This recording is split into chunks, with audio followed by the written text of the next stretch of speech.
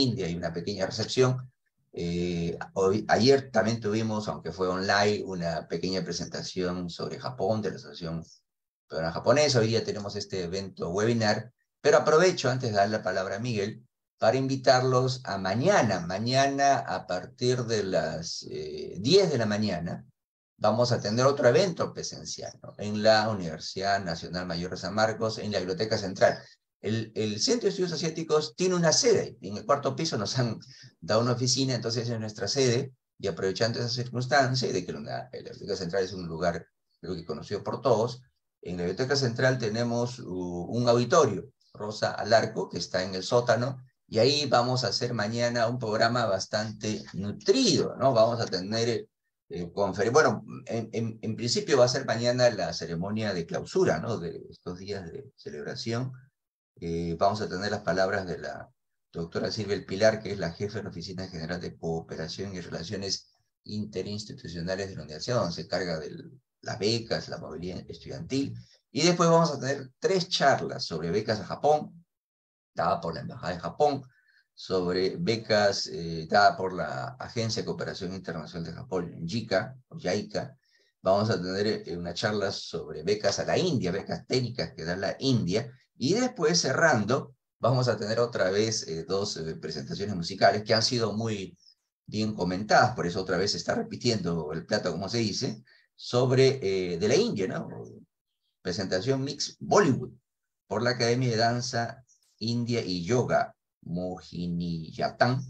Y por último, una presentación Mix Dashain India por la Asociación Cultural y Artística Dashain Perú. Entonces vamos a terminar con, empezamos el lunes con música y terminamos con música. En este caso mañana va a ser de la India. Y también aprovecharemos para eh, que vean la exposición. Tenemos una exposición gracias a la ayuda de las embajadas que nos han prestado algunos artefactos, algunos eh, eh, vestidos, por ejemplo, ¿no? de Corea, de la India, podemos tener una pequeña exhibición sobre Asia y Australia también nos ha prestado algunas fotos muy interesantes.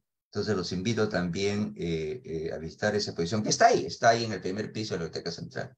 Repito, mañana el evento va a ser a partir de las 10 de la mañana en el auditorio Rosa Alarco La Rabula de la Biblioteca Central. Y después vamos a, terminamos haciendo un recorrido por la Biblioteca Central porque nos han donado las embajadas de Asia, nos, han donado más de 500 libros sobre Asia, las embajadas de Malasia, Tailandia, Indonesia, Japón, India, China, y, nos siguen donando. Entonces los invitamos a visitar libros muy interesantes sobre economía, cultura, política, sociedad, relaciones internacionales, idiomas, historia. Bien, entonces vamos a empezar. Les hago recordar que por favor eh, apaguen sus celulares, apaguen sus micros también para no interrumpir al expositor y pueden eh, al final, unos 30, 40 minutos hablar Miguel y al final vamos a tener una ronda de preguntas y respuestas. Pueden ir poniendo ya sus preguntas en el eh, chat que tenemos aquí. Bien, adelante Miguel. Buenos días, Carlos. Muchas gracias. Quiero, quiero agradecer en primer lugar eh, la invitación del doctor Carlos Aquino con su Centro de Estudios Asiáticos San Marcos para poder dirigirme, eh, digamos, a ustedes en esta oportunidad. Pero en realidad son pocas las instituciones como el Centro de Estudios Asiáticos de San Marcos que realizan, eh, que, tienen este éxito durante esta semana eh, Carlos creo que ha sido un poco este, modesto en señalar todos, todos los éxitos que ha tenido ah, el primer día, no solamente música, danza de la India, exposición de diferentes este, embajadas, el sudeste asiático representado, los embajadores, este, la rectora. Eh, yo creo que esto es muy interesante y esto es muy importante y es una felicitación para Carlos, pero al mismo tiempo un aliento para proseguir con este eh, tipo de, de, trabajos como lo que eh, realiza el Centro de Estudios Asiáticos San Marcos. ¿bien? Entonces, gracias nuevamente, Carlos, y vamos a dar eh, pase, digamos, a un pequeño PowerPoint. No sabía cómo dirigirme porque también quiero, quiero decirles, es la primera oportunidad que tengo de dirigirme al público los estudiantes y a, las aulas sanmarquinas, por donde en algún momento también transité y que realmente para mí es, es un honor y un, gusto el poder este, compartir estas investigaciones que he venido realizando. Bien, entonces, Miguel, si puedes compartir. Voy a compartir eh, la pantalla. Bien. Bien. Creo que ahí estamos, ¿no es cierto? Bien. Entonces, el tema que vamos a tratar ahora lo he titulado La institucionalidad de los migrantes chinos en el Perú del siglo XIX. esta, eh, esta institucionalidad, en realidad, quiero ver, está, está corriendo, este, está la pantalla, ¿no es cierto, Carlos? Sí. Ok. ¿Por qué es necesario conocer la historia de la migración china hacia el Perú? Creo que muchas veces este, no nos hacemos la pregunta como debería ser, y es que tiene que ver con un tema de identidad en primer lugar, un tema que tanto se está eh, en este tiempo eh, desarrollando con tantas eh, imágenes que nos pueden perturbar y de repente no conducir hacia una, ah, un concepto de Estado, de nación, de país, de sociedad en la cual estamos inmersos. Creo que la migración china es un componente esencial e importante en la construcción de nuestra nacionalidad, en la construcción de nuestro país, y ah, por eso es importante tenerlo en cuenta. Conocer definitivamente cómo ésta se desarrolló y también como parte del desarrollo de una conciencia global, donde el gran espacio del Océano Pacífico y el Asia tienen que eh, ser parte de ese conocimiento. ¿no? Entonces, en ese sentido, la labor del CEAS cumple, creo, una labor muy importante. ¿Cuál es el estado de la cuestión en, eh, que, que tenemos acerca de los estudios sobre la migración china? Hay un escaso aunque parezca mentira, un escaso trabajo histórico. Muchas veces ese trabajo se desarrolló desde el punto de vista con un sesgo antropológico, viendo al, al individuo, al migrante como un ser este, eh, suspendido en, en, el espacio y no como protagonista de la historia, ¿no? Además ha tenido también probablemente un sesgo eurocéntrico, lo hemos visto desde el punto de vista de los valores occidentales, entre comillas, y sin entender la cultura misma del migrante. El sesgo también había un sesgo legalista de emprender todo a partir de comprender todo a partir de las leyes y de los em, dispositivos legales que podrían favorecer o eh, molestar a ese migrante. Y también había un sesgo negacionista en muchos casos, decir, mm, mm, incluso eso ocurre dentro de la comunidad de los descendientes, yo no provengo de eso de ahí, ¿no? Entonces yo eh, vengo de, de mandarines, etcétera, etcétera, y realmente son sesgos que han dado lugar a una imagen, una imagen que ni siquiera por el tiempo corresponde, porque es una imagen probablemente de inicio del siglo XX, fines del siglo XIX, cuando las cosas habían cambiado mucho para los migrantes pero hay que preguntarnos por qué es que esa imagen se repite constantemente. ¿Cuáles son los sesgos de la historia y en los que interpretan la historia y el punto de vista histórico de quienes analizan a este migrante para repetir siempre esa imagen que considero es una imagen sesgada? Bien, entonces creo que eh, vamos a avanzar un poquito. Este, eh, quería recordar que los migrantes chinos en el Perú están desde 1613 o probablemente desde el siglo XVII o un poco antes, ¿no? Hay que tener en cuenta que el tránsito que existía a través del Océano Pacífico por el galeón de Manila probablemente trajo a los primeros eh, ciudadanos o, las primeras personas que provenían de esos territorios. No tenemos certeza absoluta de que fueran eh, chinos. Probablemente eran sanleyes de Manila. Probablemente eran algunas, algunos individuos que se embarcaron ya sea por la ruta de Sevilla o por la ruta del Océano Pacífico. pero no tenemos una certeza y ahí tenemos un tema de investigación que hay que seguir desarrollando. A propósito, se está celebrando eh, casi eh, los 500 años del, tornaviaje, del descubrimiento de la corriente de Kuroibu que permitió el regreso de los galeones y hay que este, eh, estar muy atento con las investigaciones a desarrollar dentro de nuestro país y fuera. ¿bien?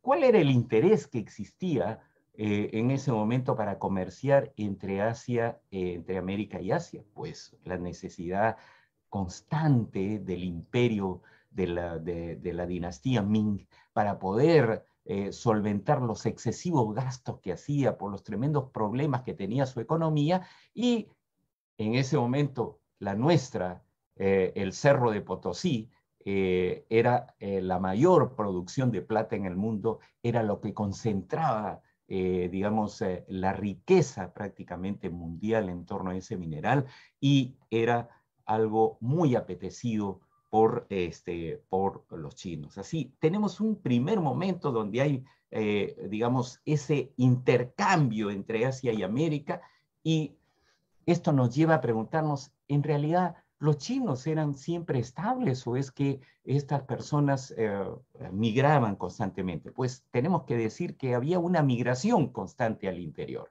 El chino era un migrante por una razón muy concreta migraba para tratar de conseguir recursos con los cuales sostener a su familia. Bien, entonces ahí vemos en la flechita roja las diferentes tendencias migratorias que existieron a lo largo de muchos siglos en la misma China. Pero el lugar que nos interesa propiamente es la cuenca del río de las Perlas que está al sur, encuadrado dentro de ese recuadro de color rojo, es donde está la zona de donde provenían básicamente los migrantes que llegaron al Perú en el siglo XIX, que corresponde a la cuenca del río de las Perlas, donde hay un sinnúmero de distritos y de zonas y de etnias que eh, constituyen, a diferencia de lo que muchos creen, también cuestiones particulares, etnias particulares dentro del gran conjunto que hay en China, incluso con dialectos muy particulares. Voy a referirme rápidamente a la situación que se encontraba China en el siglo XIX. Y inevitablemente tenemos que eh, hablar de la relación que había entre China y Occidente.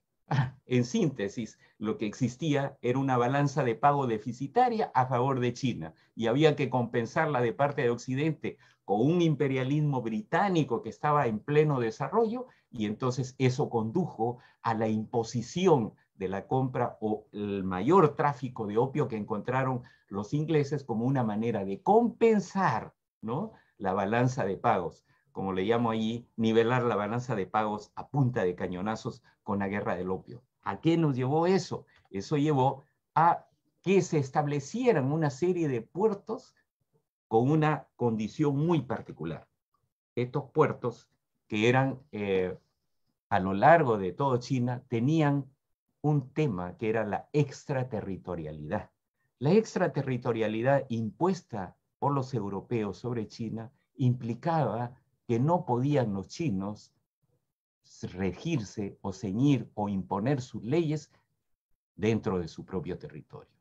Esa situación tuvo que ver con el tema de la migración, tuvo que ver y dramáticamente y produjo cambios muy importantes, porque como habíamos dicho al comienzo, en realidad los chinos migraban, Inmigraban para poder conseguir recursos, primero al interior del país y luego hacia afuera. Y entonces así es como de esa cuenca del río de las Perlas en el sur, fueron migrando hacia el sudeste, fueron migrando hacia Manila, hacia Filipinas y establecieron colonias grandes en esos territorios, pero siempre fueron conducidas por los propios chinos.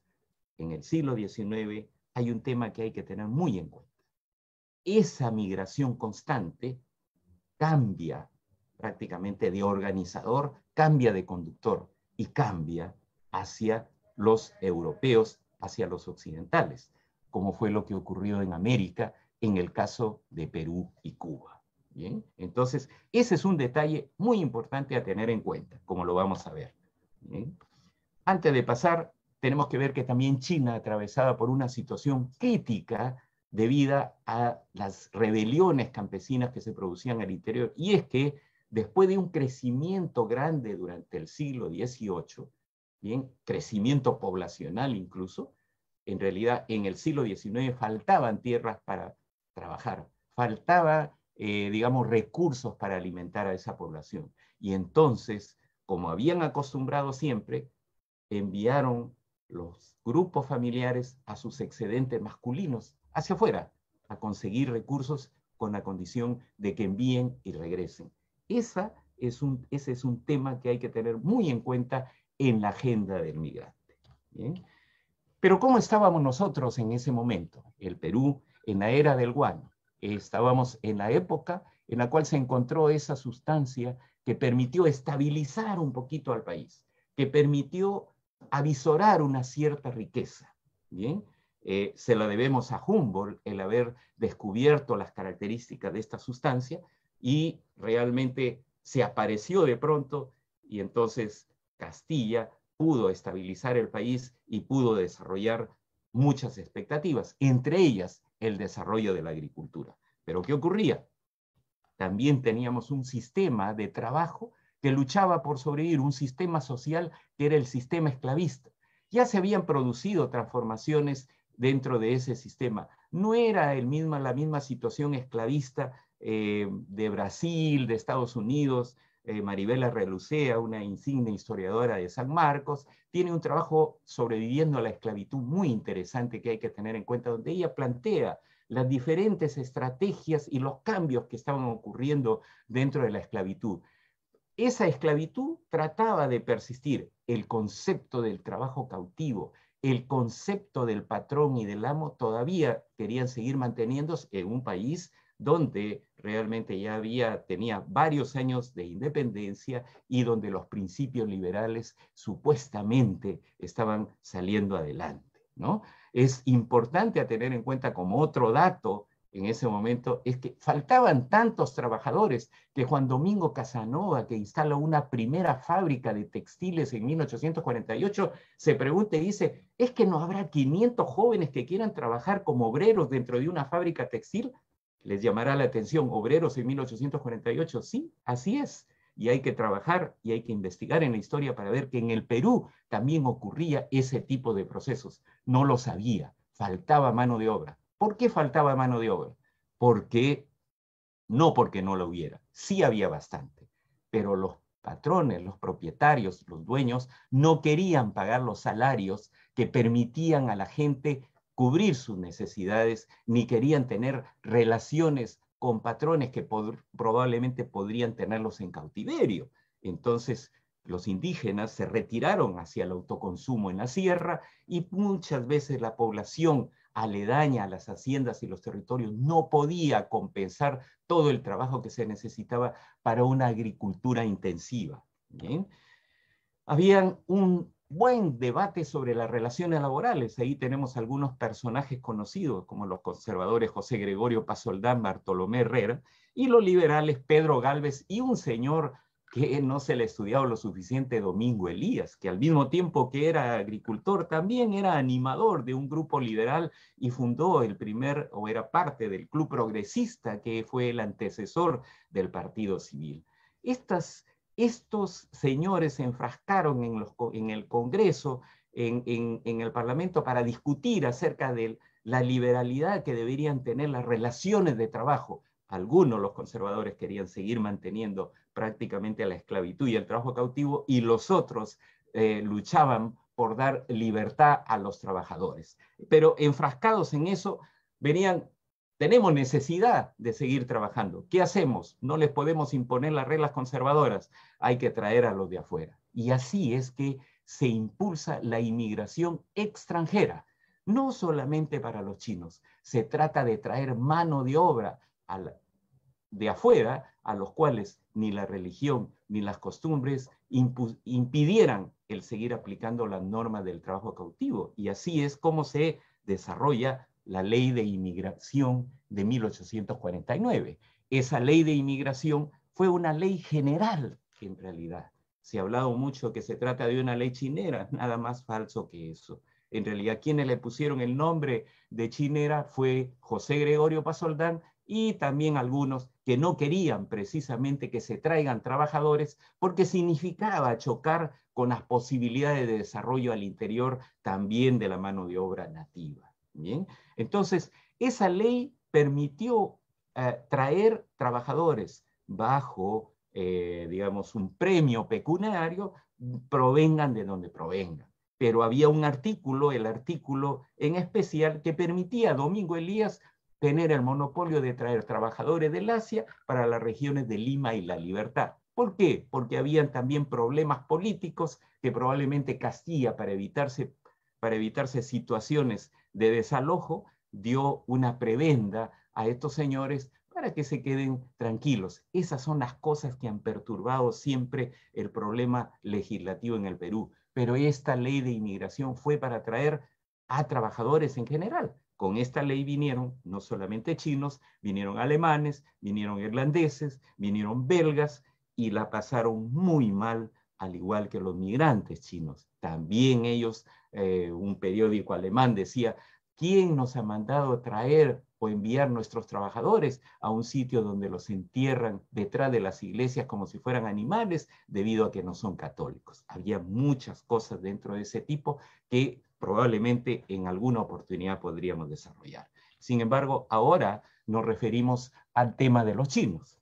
Llegaron en 1849, llegaron en octubre con el barco Friedrich William los primeros 70 trabajadores y estos 70 trabajadores chinos fueron, de acuerdo a Henry Smith, destinados para trabajar en diferentes haciendas de la señora Rábago al sur de Lima, de otros agricultores eh, que existían alrededor de Lima y unos cuantos fueron llevados por Domingo Elías a sus algodoneras. ¿bien? Pero el migrante chino vino eh, forzado, como siempre se ha hablado, cautivo. Creo que en esto hay que tener muy en cuenta. El migrante tenía, como ya lo hemos relatado anteriormente, una agenda ¿Cuál era su agenda? Obtener recursos producto de su trabajo, ¿no? Y establecerse, si fuera posible, pero sobre todo retornar, porque siempre el chino quería retornar, aunque sea en huesos, al cementerio familiar. Pero la perturbación tremenda vino cuando llegó a una sociedad que no había cambiado. Llegó a una sociedad que seguía tratando al trabajador en general como si fuese un esclavo, como trabajo como un trabajador cautivo. Y entonces el chino, que había firmado un contrato, que tenía sus derechos bien concebidos, realmente sin el mismo idioma, sin las mismas costumbres, sin tener eh, compañía de sus mujeres, tuvo que enfrentarse a esa sociedad resistente al cambio que era la sociedad peruana. Eh, eh, y, debemos recordar que el Perú en ese momento era un estado realmente bastante inestable. Hemos dicho que el guano trajo un poquito de tranquilidad, permitió desarrollar expectativas agrícolas, pero en realidad habían una serie de movimientos. Recordemos las elecciones de 1851, las, más, las primeras que se desarrollaron y las más violentas que eh, se registran en la historia del Perú después de la independencia. Luego vino la Guerra Civil de 1854, que tuvo casi todo el país, desde el norte hasta el sur, en movimiento. ¿no? Luego vino la Convención de 1856, un momento liberal donde se enfrentaron. Luego vino un golpe, de, un intento de golpe de Estado. Luego vinieron una serie de cosas que mantuvieron durante todo ese eh, periodo al Perú en una situación realmente bastante inestable, con una fragmentación como a veces la historia nos enseña que puede repetirse en el tiempo y que debemos entender, ¿no? Pero, ¿cuál era la actividad del migrante chino en ese momento? Era el mantener la agricultura.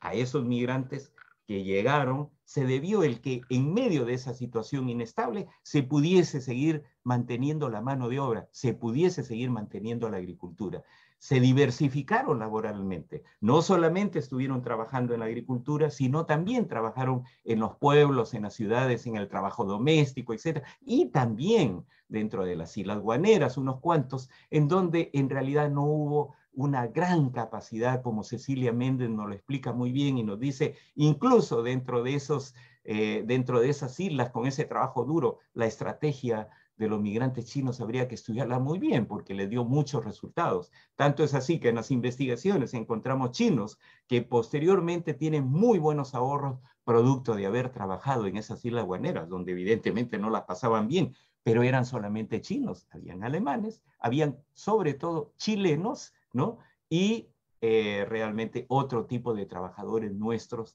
que eran parte del pueblo, ¿no? Em, a ello se debe también el seguir manteniendo la economía eh, urbana cuando comienzan a soltarse de los contratos y a desarrollar los primeros comercios y también en la década del 60 cuando viene Henry May, Mays a desarrollar la construcción de las vías férreas, para lo cual no solamente participaron chinos, sino también se trajo migrantes de otros lugares, ¿no?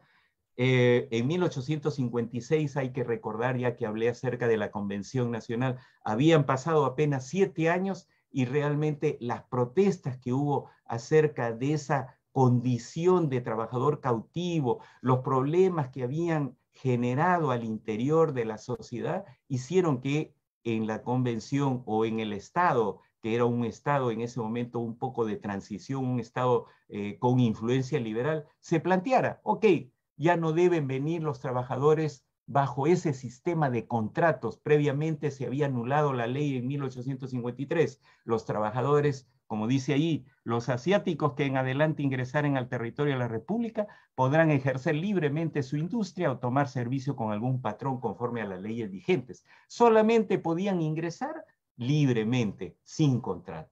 Eso es un momento muy interesante en esos siete primeros años de la historia de la migración china.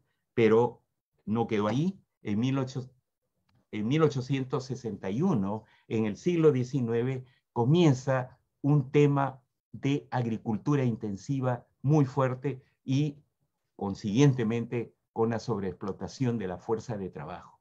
Se necesitaba algodón, se necesitaba azúcar en el mundo. ¿Por qué? Porque había la guerra civil norteamericana, porque había un desarrollo industrial en Europa que necesitaba fuente de energía como el azúcar, y eso requería campo de cultivo donde se pueda trabajar el algodón, donde se pueda trabajar el azúcar y sobre todo mano de obra. Y entonces se reinstala el sistema de contratos y se vuelve a traer a todos los trabajadores que hubieran en ese momento. Pero algo que no se ha tenido en cuenta es que en China también ocurrieron cambios en ese momento. Ocurrieron cambios que hacían una, que se llamó la restauración dentro del imperio Qing o el autofortalecimiento, lo cual implicaba el reabsorber a, la mano de obra, ya no había la suficiente cantidad de agricultores que pudieran salir y entonces los embarcadores trajeron a todo aquel que encontraron. Probablemente en esta segunda fase sí llegaron migrantes en gran cantidad, sobre todo culís. ¿Y quiénes eran los culís? ¿Es que todos los chinos eran culís? No, los culís eran aquellos hombres que estaban viviendo en los puertos, que se desarrollaban, se, eh, desarrollaban tareas muy eh, elementales, cargadores, era gente muy desposeída, como dice eh, eh, el mejor analista que podrían tener eh, el presidente Mao, dice, en realidad era gente sin clase, era lumpen proletariado prácticamente, y al cual hay que tener muy en cuenta porque dentro de ellos pueden haber viciosos y, y una serie de problemas, pero al mismo tiempo ellos también desarrollan sus propias formas que se llamaron las sociedades secretas. Ese es un tema a desarrollar y a trabajar, pero eso ocurre en un momento ya muy posterior de la migración china. Bien, esto, esa sobreexplotación que generó al interior de, eh, digamos, de, la, de los migrantes. Ellos aceptaron eh, con pasividad, sin mayor problema, eh, digamos, el ser sobreexplotado. No, no fue así. En realidad empezaron una serie de protestas y de reclamos, pero antes de eso, en realidad ellos empezaron a juntarse y a desarrollar sus propias organizaciones étnicas bajo un principio chino que se le conoce como el Kongxi. Y el Kongxi, ¿en qué consiste? En la agrupación de los étnicamente afines, en la agrupación de los familiares, en la agrupación que permitía el sostenimiento económico, pero al mismo tiempo el desarrollo de una especie de fraternidad. Esas fueron las primeras formas organizativas allá por 1861 y fueron lo que se denominaron las agencias eh, comerciales o las agencias chinas, de las cuales hay relatos en los periódicos de la época. Sin embargo, en el Perú también existió un movimiento paralelo en ese momento, existía el momento de la formación civil, eh, de la formación de la sociedad civil. Se formaron una serie de sociedades, tanto en la comunidad peruana como en las comunidades extranjeras. Carlos Formen, que estudia el fenómeno, dice, nunca como antes, como en ese momento, en el Perú se empezaron a constituir una serie de sociedades que dieron lugar a las organizaciones sociales, ¿no? Entonces, eh, eh, eso también era paralelo entre los chinos. Esos levantamientos que hemos visto que ocurrieron a lo largo de la costa dieron lugar también a la conformación de agrupaciones, no solamente a nivel de agencias, sino agrupaciones mayores que fueron constituyéndose en organizaciones y que juntaron a los migrantes para poder, eh, digamos, hacer su reclamo de manera colectiva. Y en fin, si lo logran, lo hacen y constituyen en, bueno, este es un mapita que después lo vamos a ver, ¿no? Y constituyen en 1866, ellos elaboran un memorial, bien, en 1866, que es enviado al imperio. No lo envían como sociedades, bien, lo envían como los chinos que estaban abandonados en el exterior. ¿Y le envían a través de quién? Lo envían a través de la embajada norteamericana. La embajada norteamericana que quería tener un protagonismo dentro del Perú, conduce ese, esos memoriales. El primero solamente se queda en poder de los norteamericanos. El segundo, en 1869, cuando hay varias revueltas en el norte, en el sur, se pronuncian los gremios que les llaman de Cantón, el gremio de Fukien y el gremio eh, de Tunsin. Bien, son las tres grandes agrupaciones que sobreviven hasta el momento y que realmente van mostrando la, eh, digamos, la eh, forma organizativa particular de los chinos y que sirve no solamente para la defensa interior, sino para pronunciarse hacia afuera. Envían sus memoriales y entonces este sí llega al príncipe Kun, que era el encargado de las relaciones exteriores en el imperio, y le dice, ok, nosotros les pedimos a los norteamericanos, por favor, a ver si pueden hacer algo por esos migrantes. Y efectivamente comienzan estos a cambiar la situación del Estado y comienza a cambiar el enfoque que se tenía hacia 1868, 1869. Pero los cambios no se producen de manera brusca, siempre la forma del trabajo cautivo existía y entonces se desarrolla en 1870 una gran revuelta que se llama la revuelta de Pativilca, que abarca todo un valle y que estremece, digamos, a, la sociedad. Antes ya habían habido en Cajanlé, que habían habido en Pucalá, etcétera, pero esta tiene una mayor repercusión y obliga prácticamente a que el gobierno peruano diga, ok, nosotros necesitamos trabajadores. Los chinos están reclamando y están protestando. Y en la China, los puertos, y ahí viene el mapa, los puertos en Cantón, en, en, Amoy y en otras regiones, en Macao, se están cerrando para nosotros. China ha establecido que solamente aquellos que tengan un tratado pueden llevar a sus trabajadores fuera.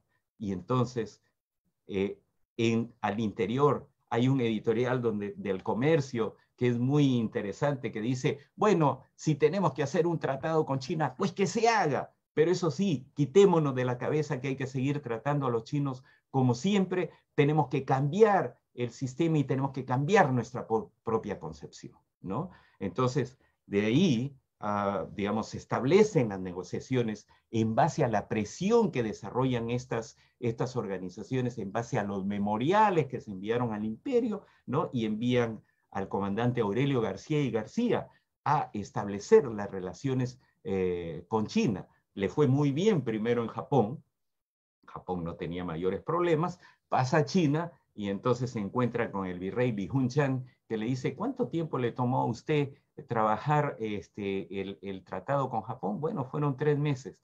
Y entonces Li Chan, que estaba advertido con los memoriales que le habían llegado y con la respuesta que los chinos querían darle a los maltratos que había hacia los trabajadores, le dijo, pues aquí por lo menos tendrá usted que trabajar durante tres años. Y lo hicieron ver realmente a García García las cosas color de hormiga, sin embargo, pudieron ellos este, al final eh, de casi dos años concretar un tratado donde se establecía claramente que los chinos también deberían tener el derecho de ser considerados como ciudadanos de las naciones más favorecidas y que realmente ellos eran libres de transitar en el país y podían disfrutar de todas las este, prerrogativas como cualquier ciudadano extranjero en el Perú, ¿no?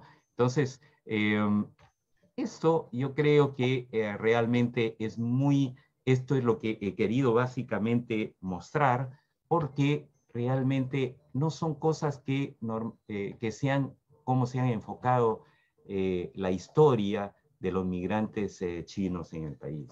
Y yo creo que, perdón, ya tengo 30 minutos, me estaba avisando el, la alarma, yo creo que realmente eh, eh, hay que eh, considerar que en primer lugar, el migrante vino aquí para encontrar recursos con su propia iniciativa. Por supuesto que hubo abusos, por supuesto que hubo quienes no pudieron venir con sus propios medios, por supuesto que hubo quienes también probablemente fueron producto de un rapto o cosas por el estilo, pero eso era el conjunto de una sociedad o de un conjunto de individuos que querían trabajar eh, en, eh, afuera, en el extranjero, y obtener eh, esos, esas posibilidades de sobrevivencia. Al final, ¿no? ellos trabajaron acá, fueron sobreexplotados, tuvieron problemas, pero ejercieron su forma de resistencia y esa forma de resistencia les permitió desarrollar sus propias organizaciones, desarrollar su propia ah, institucionalidad. Esas instituciones lograron enviar hacia el imperio sus reclamos y fueron escuchados. Y al final se constituyó una gran beneficencia que todavía pervive hasta ahora, que tuvo el apoyo del imperio con la llegada del primer embajador. Em, actualmente esa institucionalidad eh, implica una serie de pequeñas, de, sociedades étnicas en el Perú, como las que estamos enumerando ahí y que corresponden a las sociedades del mundo chino y que hasta el momento todavía persisten. ¿no? Ah, no sé si en estos minutos haya podido en realidad mostrar, ah, digamos, eh, todo ese, ese gran este, eh, mosaico de, qué significa el estudio de la inmigración china y, y, comprender qué significó para eh, eh, nuestra sociedad, pero como un resumen podríamos ver que una vez establecidas las relaciones entre el Perú y China en 1874, ¿no? Vino en 1884 la primera legación, en 1909 tuvimos el Tratado Porras-Butin-Fan, Luego, en 1971, el ingreso de la República Popular China a la ONU fue favorecido por el voto peruano y en 1972 es que se logra el establecimiento de las relaciones diplomáticas entre el Perú y la República Popular China. Todo eso es eh, abarcar 173 años de historia, pero en 173 años de historia probablemente lo que ha sobrevivido dentro de todo ese trabajo con no solamente cosas eh, buenas y, cosas positivas, sino con muchas cosas que probablemente hicieron sufrir a las personas y, trajeron eh, eh, muchas, digamos, penas. Al final, el migrante se estableció, al final, la comunidad china en el Perú ha permanecido con sus instituciones y con sus sociedades. Bien. Em, yo creo que, eh, Carlos, con esto ah, concluyo esta intervención y estoy eh, abierto a todas las interrogantes y preguntas que puedan existir. Muchas gracias. Ah, eh, gracias, Miguel, por tu interesante exposición, especialmente sobre un tema que no ha sido mucho estudiado, como lo mismo, lo dijo Miguel mismo, ¿no? Las eh, formas de asociación de los inmigrantes chinos en los primeros años de su llegada al Perú. Eh, más bien quería preguntarte dos cosas, Miguel. Uno, antes de dar eh, pase a las consultas de las personas que creo que ya están haciendo sus comentarios ahí en, en el chat, ¿no? Uno, eh, eh, nos, ha hablado, nos has hablado de, de, cómo los chinos empezaron a organizarse en el Perú, al comienzo, ¿no? a través de varias eh, asociaciones, basados quizás más en su, en su lugar de donde venía, ¿no? porque China, creo que hemos conversado contigo, Miguel, una varias veces, a diferencia de los japoneses, ¿no? que en realidad vinieron obviamente mucho después de, los eh, chinos, pero eran, digamos, no tenían tantas diferencias en los temas de dialecto o, de regiones, ¿no? La gran mayoría eran de, de Okinawa, eh, pero en todo caso casi que hablaban el mismo idioma, ¿no? Pero tú sabes muy bien que en China, pues, eh, China es un país prácticamente inmenso, bueno, aparte que es inmenso, obviamente, mucha gente, la gente venía a veces, si bien es cierto, se supone que vinieron muchos de una región, provincia, cantón, pero incluso dentro de cantón, pues, hay municipios y todo lo demás. Entonces, Primera pregunta es, quizás la, la, la, las reuniones, las asociaciones fueron al comienzo basadas en esas eh, ligazones, lazos eh, bien locales, particulares, ¿no? y quizás impidió una organización de tipo nacional como sí se tuvo con los japoneses que vinieron aquí, ¿no?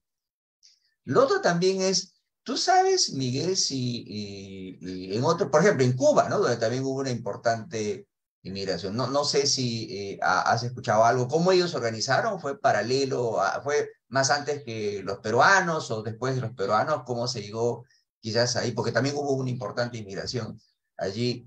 Eh, si en otros países de Latinoamérica, especialmente Cuba, ¿no? Porque creo que fue uno de los lugares donde llegaron también primero y, llegaron una buena cantidad, ¿no? Si en ellos también, ¿cómo fueron los esfuerzos que tuvieron de eh, inmigración en esos países, ¿no? Y la última, eh, claro, obviamente eh, Latinoamérica, en, el caso particular del Perú, como lugar donde vino la mayor inmigración china a esta región, hay muchos estudios, hay muchos estudios sobre esto. Pues dime, ¿tú, tú, tú, tú sabes algo o, sería interesante saber, ¿no? Si en la misma China, en la misma ah, cantón de donde salió la gran mayoría, ah, no, no se ha hecho estudios, ¿sabes tú, sobre los chinos que salieron? o sea, se ha hecho en, en, en, Cantón, ¿no? en la misma zona de donde salieron los chinos. ¿No habrá habido gente que ha investigado también qué fue de los chinos que se fueron afuera? ¿Conoces algún tipo de esto? Te pregunto esto porque yo hace algunos años, en 2019 creo, coincidí con, con Patricia Castro, por ejemplo, que también estudió mucho este tema, y con una profesora de la Universidad de Piura, en un congreso que nos invitaron sobre inmigración China y, vi que habían varios investigadores de otros países de Latinoamérica, e incluso chinos, incluso eh, estaban tratando de hacer un, un, un, documento, ¿no? Donde recogían las ponencias. había mucho interés. Ellos tienen ahí en la Universidad de, de Cantón, tienen, Guangzhou creo que se llama, tiene un, centro justamente de estudio de migraciones, ¿no? Entonces, no sé si, no, no, no sé si hayan sacado un documento, pero sería interesante, ¿no? Supongo que como esa provincia fue el, lugar de donde salió la mayor parte de la inmigración, quizás ellos están también haciendo investigaciones por su Sería interesante, ¿no? Ver, yo, yo como te digo, estuve ahí, pero no, no he conocido o que han publicado algo después, pero la idea era que, que publiquen, ¿no? Sí, eso sería todo. Ya después daríamos pasos a los comentarios, preguntas. Ok, muchas gracias, este, Carlos. Bueno, eh, los chinos tienen su principio, el principio organizativo se basa en eh, la asociación familiar, en la asociación de clan, en la asociación étnica. ¿bien? Entonces, eh, el principio organizativo del CUNCI también tiene que ver con eso. Efectivamente, las primeras agencias, las primeras organizaciones que se registran en los diarios, en los periódicos, no tenemos un registro escrito de esas organizaciones porque la mayor parte, en primer lugar, no, probablemente muchos de ellos no podían registrar por escrito, eran analfabetos la mayoría, ¿no? O definitivamente no se han conservado esos archivos, simplemente, no se han conservado esos papeles, ¿bien? Pero en los diarios de la época se puede hablar, se puede escuchar acerca de las agencias de los chinos, agencias donde juegan, dice, agencias que se enfrentan, agencias que, o pequeñas tiendas, donde se reúnen, dice, a jugar. Efectivamente, el juego, el cigarro, son algunas de las características que atraen a los chinos efectivamente, como probablemente también en el Perú estaba perseguido el juego de baraja y, la canasta y los juegos de azar. Pero eso era lo que atraía y lo que juntaba a los primeros basados en el apellido, basados en el lugar de procedencia, basados en los intereses étnicos eh, eh, que desarrollaron esas primeras organizaciones. ¿no? Que existió en otros lugares, lógicamente, ¿no? También en Cuba, efectivamente, hay una ah, organización que, persiste, una larga organización que, ellos también desarrollaron con sus formas y su manera. En Cuba eh, fue un poco diferente el proceso debido a que Cuba, recuerden, todavía permanecía bajo la dominación española. Entonces, para los chinos, eh, España, cuando hablaban de España, estaban hablando de Cuba, cuando hablaban de Cuba, hablaban de España, ¿no? Entonces, eh, definitivamente sí desarrollaron también sus organizaciones, que cuando llegan las primeras eh, grupos de inspección de los chinos de parte del imperio, también les dan las quejas y les, muestran en qué, cómo estaban esas, los problemas que tenían, ¿no? Que si los chinos en, en al interior eh, del país están este, investigando, sí, definitivamente investigan, hay estudios eh, acerca de cómo le fue a los migrantes el exterior, acerca de cómo, este, digamos, este, se asentaron, sobre todo, yo creo que a los chinos de ahora les interesa mucho saber cómo fue el proceso de asentamiento en los otros lugares, ¿no? Eh, esto porque hay que revisar un poco la historia para tener las experiencias necesarias. A propósito, ya que hablaste de Japón, Japón estudió muy bien cómo le fue a los migrantes chinos durante casi 50 años. Entonces, cuando ellos empiezan en 1900, lo empiezan con un conocimiento previo. Entendieron que los chinos, el gran problema que tuvieron los chinos fue un idioma diferente. El otro gran problema es que no vinieron con sus propios representantes. Y el otro gran problema es que vinieron solos, sin sus mujeres. Bien, entonces cuando viene la eh, migración japonesa es organizada desde el Estado, ¿no? Y eh, vienen en familias. Yo creo que eso marca diferencias y que eh, efectivamente he tratado de responder un poquito las preguntas este, tuyas, Carlos, en ese sentido, ¿no? No sé si haya más... Sí, gracias, gracias, Miguel. Bueno, hay algunas inquietudes, preguntas en el chat. Lo voy a leer para que todo el mundo, también los que nos escuchan eh, eh, afuera. A ver, dice primero, hay una inquietud, ¿no? Que tú puedes leerlo. En todo caso, lo leo vez. Dice, buenos días. Antes de empezar el webinar, quisiera hacer una pregunta. ¿Existe, existe algún eh, archivo donde se pueda visualizar una relación de los inmigrantes que llegaron y les fueron cambiados los nombres? Esa es una pregunta, pregunta mía. Sí, es, es muy, muy difícil. Incluso es muy difícil tener registro de inmigrantes. Bien, nosotros encontramos un registro eh, de 1852 de un barco llamado Susana, que traía 325 inmigrantes y estaba refundido entre los documentos del Ministerio de Gobierno en el Archivo de Relaciones Exteriores. Bien, eh, esos 325 inmigrantes, ese, ese archivo es muy interesante porque, ah, digamos, ah, eh, nos trae el lugar de procedencia, nos trae el, eh, el oficio al cual se dedicaban y, este, y las edades, ¿no? Entonces, eso nos ha permitido realmente interpretar y entender un poquito hacia dónde o, cuál era, eh, digamos, este, el destino de estos, de estos trabajadores. Pero de que existe un, un archivo de los inmigrantes es ojalá que se pudiese encontrar. Hay que desarrollar investigación, hay que trabajar los archivos. Es probable que haya muchos papeles ahí que nos sorprendan. Bien, ahora, los cambios de apellido, definitivamente eso ya es más difícil porque normalmente el cambio de apellido se producía al bautizarse, ¿no? Eh, en, las parroquias, en los eh, archivos parroquiales, es posible encontrar eh, una gran cantidad de migrantes que adoptan un apellido diferente porque efectivamente el sacerdote que le suministraba el sacramento le decía, no podemos tener un, este, un nombre pagano, así que te vamos a poner un nombre cristiano. Y entonces ahí es que se producía el cambio, ¿no? Y sobre todo en el caso de los descendientes, en el caso de los hijos, cuando el padre no era bautizado, y entonces decían, bueno, no le podemos poner el padre, el, apellido de este, que es este, pagano, y le vamos a poner el apellido de la madre. Y ahí se producía el cambio, ¿no? Entonces es un trabajo eh, que se puede hacer, pero es bastante tedioso. ¿no? Cierto, cierto. Ya, bueno, ah, en el chat hay varios comentarios, preguntas, bueno... Voy a ver el chat, creo que se puede visualizar. Sí, sí, sí. A ver, te voy a poner en todo caso, ¿no? Varias personas te agradezcan, pero eh, Ana Gabriela te hace las siguientes preguntas que paso a leer. Dice, eh, Macera indica que los chinos venían a buscar las colinas doradas. ¿Eso se refiere al Potosí? Esa es una, ¿no? Dice, dos, Escuché a la investigadora Isabel Lauzán que los chinos venían forzados. Quisiera preguntar si los chinos que emigraban, eh, algunos tal vez fueron expulsados de China. Ajá.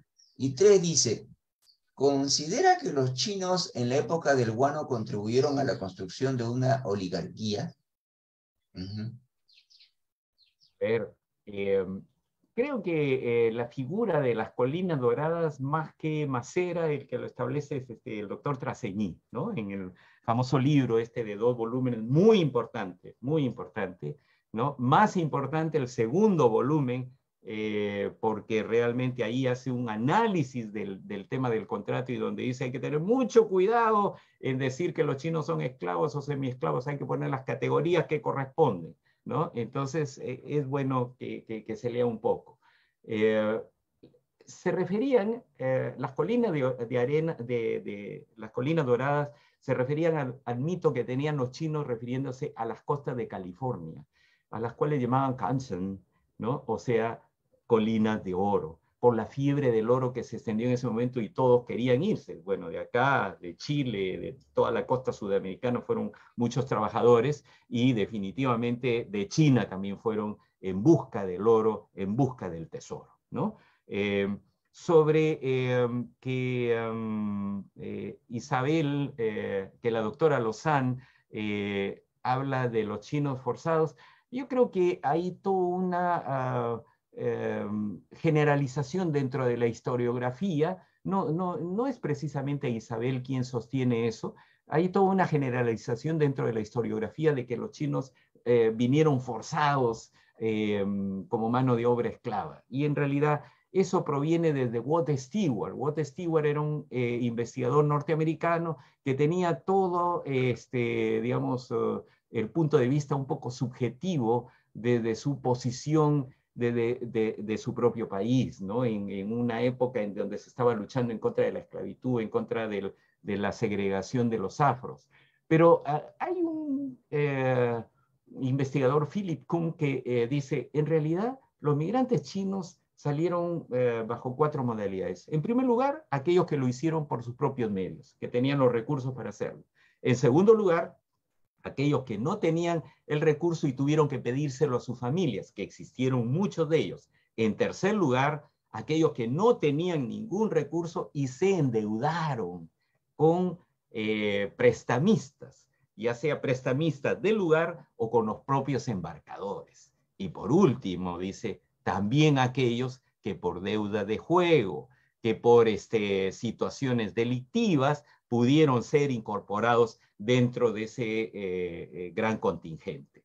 Y dice, los dos primeros tenían su propia, tenían mucha más libertad y posibilidades de desarrollarse. Los dos últimos evidentemente tenían obligaciones que cumplir y entonces no tenían tanta libertad como para poder desarrollar su iniciativa.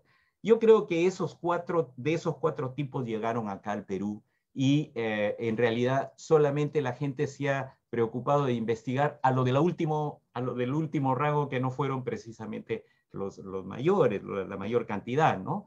Entonces, este, hay que todavía trabajar un poco más en la historia en ese sentido. Bien. Ah, no sé, em, ya que recordaron a Macera, eh, Macera tiene una frase muy interesante, el doctor Pablo Macera, que falleció hace relativamente poco tiempo, y él dice, en realidad, en la historia del Perú, ah, nosotros tenemos un tema ah, muy grave de autoestima, un tema de identidad histórica muy grave, ¿no? Entonces dice como en realidad todos nuestros blancos han sido desde el siglo XVIII, con las reformas borbónicas, eh, prácticamente este, eh, humillados o desplazados de las posiciones de poder. Entonces, eh, el blanco, dice, descarga sus em, eh, frustraciones sobre el indio, ambos lo hacen sobre el negro y los tres, a su vez, sobre el chino. Entonces, este, también en la historia un poquito que se ha, digamos, ha tenido ese cierto sesgo que de repente hay que despejar un poco para seguir abriendo las investigaciones y dar una perspectiva eh, con mayor futuro a los trabajos. Cierto, Miguel. Sí, mira, hay otra pregunta de Candy Cortés, dice, ¿no? Dice, los chinos que llegaron al Perú sabían leer y escribir. Eh, sigue, ¿quiénes accedían a la educación en China en el siglo XIX? Continúa, dice, era extraño que un chino o, entre comillas, de clase baja supiera leer y escribir y termina diciendo, he encontrado unas partidas de bautismo de inmigrantes chinos en el que se consignaba el carácter de los nombres del bautizado, aparentemente escrito por ellos mismos. Bueno, y, te leo la siguiente porque también está relacionado, dice, ¿existe algún, es para ti, ¿existe algún sitio online donde podamos ver los trabajos escritos y próximas presentaciones del profesor Situ? ¿Tendrás algún lugar para información de todos nosotros? Muchísimas gracias. Bueno, en realidad eh, la mayor parte eh, de los chinos que salieron no eran gente educada. Evidentemente no pertenecían, definitivamente no pertenecían a la clase de los mandarines, eh, no pertenecían al gobierno. Recordemos un detalle muy importante. China en ese momento no tenía relaciones con nadie, no tenía embajadores en ningún sitio. Solamente en 1865 comienza a salir la primera legación china hacia el exterior. Fíjense qué tarde. Bien, ¿por qué? Porque ninguno de los mandarines ni ninguno de los que pertenecían a la corte imperial quería salir afuera, porque no querían en primer lugar estar fuera de la corte donde podían obtener prebendas y en segundo lugar lo consideraban deshonroso y posible de contagio de una cultura exterior eh, ¿no? Si estaban afuera. Entonces, evidentemente, aquellos que salieron no eran precisamente personas con una cultura desarrollada, con, con, eh, eh, una escritura, con posibilidades de, escribir y de dejar registros de esa manera. Pero sí podían algunos poner el ideograma de su nombre y poner algunos caracteres. Definitivamente que sí definitivamente. Es muy interesante lo que acaba de decir y lo que acaba de descubrir esto de las partidas. Por supuesto, eh, en los libros parroquiales encontramos que al costado, con pequeños caracteres, aunque sean un poco mal hechos, el, el, migrante pone su nombre, ¿no? O en algunas, eh, algunos contratos el migrante ha puesto su firma con dificultades. Y ojo, en los juicios, eso es muy interesante, juicio de reconocimiento de hijos y juicios sobre todo en las cortes eh, penales, donde los levantamientos que son investigados hacen que los eh, involucrados pongan su nombre. Algunos dicen, como no sé leer ni escribir, que lo ponga fulano de tal. Y entonces los traductores ponen su nombre. O aquellos que pueden carabatearlo un poco, ponen su nombre en Chile. Eso es muy interesante, ¿no? Em, voy a abrir un poco el chat porque eh, aquí creo que dice...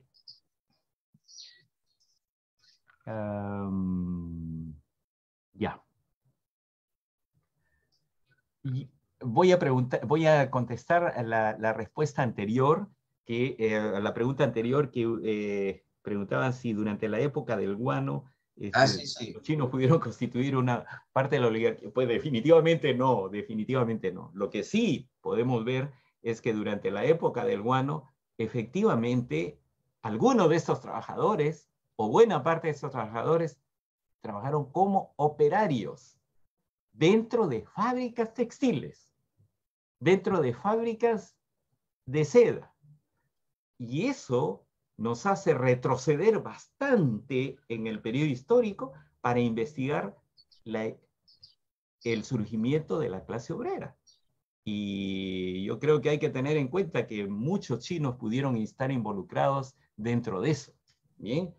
Ah, la otra cosa es que ellos sí definitivamente tenían una gran capacidad de movilización y de adaptación. Una vez que terminan su contrato, se van a los pueblos vecinos, ponen pequeños negocios y sí contribuyeron probablemente al desarrollo de la economía urbana y contribuyeron al desarrollo de ese comercio que era muy elemental. Recordemos la economía peruana antes de la guerra con Chile. Ahora, eh, después de la guerra con Chile, sí definitivamente eh, ya no vienen solamente ya no llegan solamente eh, los chinos este, trabajadores, sino también vienen chinos que estaban establecidos en, California, en, Norteamérica, y otros que ven que hay una gran comunidad legitimada y aceptada por el tratado, y entonces vienen a hacer sus inversiones a fines del siglo XIX. Sí, pues Sí, gracias Miguel por tu respuesta. Bueno, eh, eh, en principio yo creo que esos son los comentarios que te han hecho, ¿no? En todo caso, eh, es un tema pues bastante amplio el que has tocado, no, no, ya yo creo que va a haber oportunidad para poder conversar otra vez, este es un tema muy importante para todos. Y bueno, eh, no sé si quisieras eh, agregar algo antes de, terminar. Miguel, bueno, justamente no ha respondido. ¿Hay algún sitio donde podemos ver tus trabajos online? No sé. Bueno, eh, sí, en realidad, este, Carlos, ah, mis tesis están en el repositorio de la Católica, están, son de acceso abierto y yo no, no he puesto ninguna cláusula ahí. tengo algunos artículos de revistas y este, eh, en todo caso, este, mi, mi, correo es miguel.situ.pucp.pe. Si alguno quiere, digamos, comunicarse, estoy llano a, a, contestar las preguntas que puedan tener. ¿no? Eh, efectivamente, como ha dicho el doctor Aquino, este es un tema apasionante, este es un tema que vale la pena investigar. Este es un tema que hay que ver desde los inicios cómo fue enfocado, porque ya que comenzamos, eh, ya que lo que señalamos, el tema de la identidad es también parte importante eh, de, de, todos nosotros. Y la identidad puede ser pues aquella que aparece en nuestro DNI o como también aquella de la manera en que nos observan, la manera que nosotros observamos o aquello que nosotros construimos, ¿no? Entonces hay que tener en cuenta este elemento, el elemento de la migración, cómo es que contribuye al desarrollo de nuestra propia identidad y cómo contribuye al desarrollo de la identidad en el Perú y entender cuáles son los fenómenos de si hubo realmente una inserción o una integración, como se habla, o es que realmente eso nos deja muchas preguntas que todavía hay que contestar.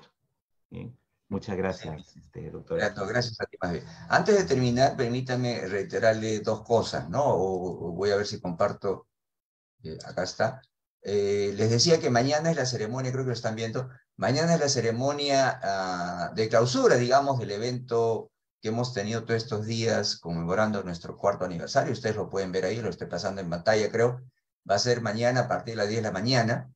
Eh, y eh, a partir de las 10 y 20, ustedes lo pueden ver ahí, va a haber la conferencia de charlas sobre becas a Japón. Eh, invitamos especialmente a los alumnos, no solo de San Marcos, esto es abierto para todos los jóvenes del Perú.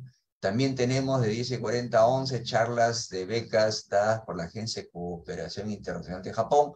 También tenemos después las charlas sobre becas técnicas. Estas son becas técnicas del gobierno de la India y como habíamos comentado, vamos a tener un broche de oro cerrando con otra vez la participación de un grupo de danzarines, pues, de eh, música de la India, de dos grupos en, realidad.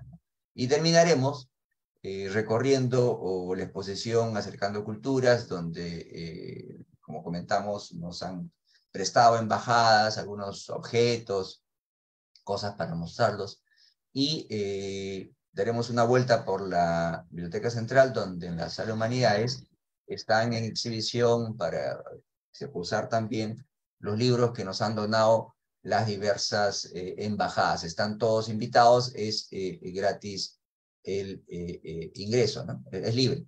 Y también, a ver, déjenme ver si puedo compartir también, tenemos, aquí está, tenemos el tenemos nuestra página web, ahí está justamente la página web del centro donde estamos, ustedes están viendo que hemos estado transmitiendo en vivo.